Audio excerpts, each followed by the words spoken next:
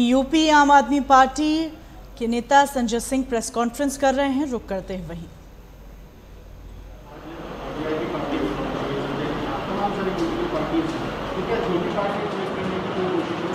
मुझे लगता है सभी राजनीतिक दलों के अपना के अपने फैसले हैं, अपना नेतृत्व है उनका, और वो सब निर्णय लेने के बारे में स्वतंत्र हैं, वो क्या अपनी पार्टी के हित के बारे में या यूपी के हित के बारे में सोचते हैं? तो इसका जवाब तो वही लोग दें तो बेहतर है। आम आदमी पार्टी से संबंधित कोई सवाल होगा तो उसका जवाब मैं ज़रूर दे सकता हूँ। अभी अगर आज हम बात करें जिला पंचायत अध्यक्ष के चुनाव की तो आदित्यनाथ जी की सरकार ने जिला पंचायत अध्यक्ष के चुनाव को अपराहित कर लिया है। इसको धन बल बाहुबल और भ्रष्टाचार से समर्पित उसके चरणों में गिरा चुनाव बना दिया है। अगर एक चुनाव जो जिला पंचायत अध्यक्ष के लिए है, उसको आप भ्रष्टाचार को समर्पित कर देंगे,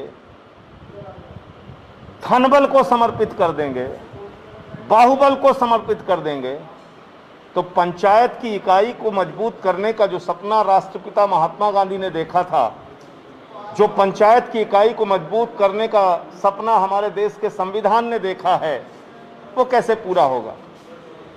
ये एक बहुत महत्वपूर्ण बात है। और 25-25 जिला पंचायत अध्यक्ष निर्विरोध चुने जा रहे हैं। आज खबरें आ रही हैं, यहाँ हड़काओ, वहाँ धमकाओ, इन पे मुकदमा, उन पे मुकदमा, इनको पैसे, इनको तोड़ो उनको तो ये जो जो कुछ भी हो रहा है, बहुत ही दुर्भाग्यपूर्ण है। चुनाव आयोग को इसमें हस्तक्षेप करना चाहिए और जितने भी जिला पंचायत अध्यक्ष के चुनाव हैं उत्तर प्रदेश में, उसको निरस्त करके ब्लॉक प्रमुख और जिला पंचायत अध्यक्ष के चुनाव अगर ईमानदारी से चाहते हैं तो इसको सीधे जनता से कराइए। सीधे जनता से कराइए। आदित्यनाथ जी ने तो कहा था कि हम इसको सीधे जनता से कराएँगे। क्यों नहीं आज तक करा रहे वो तो ये एक बहुत गलत काम है जो इस वक्त हम लोगों को जिला पंचायत अध्यक्ष चुनाव में देखने को मिल रहा है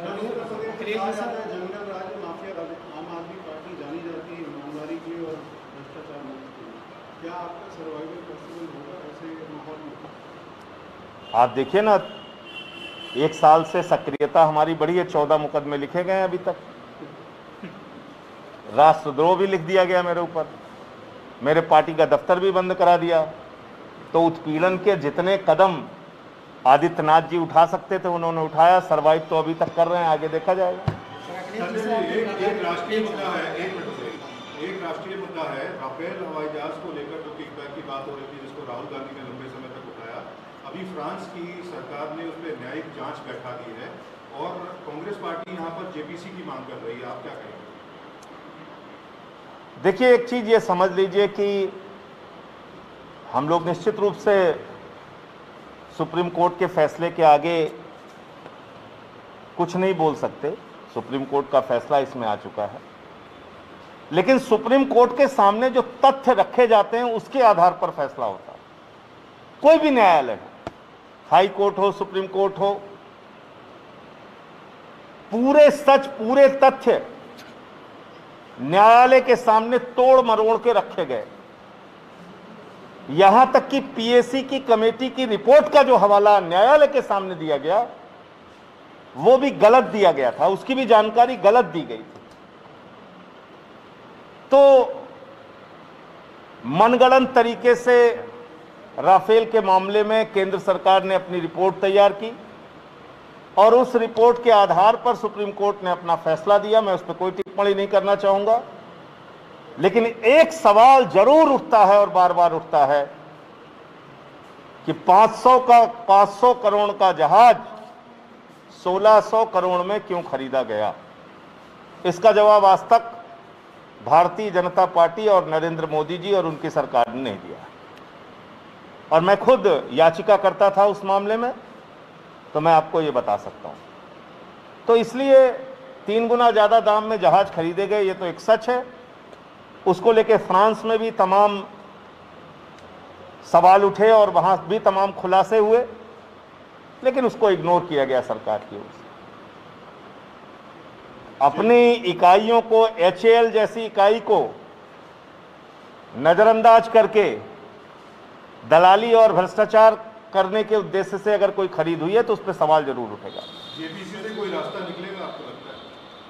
अब तो सरकार दूसरी मुद्रा में चली गई मुझे लगता नहीं है कि जेपीसी कोई बनाने वाले हैं वो।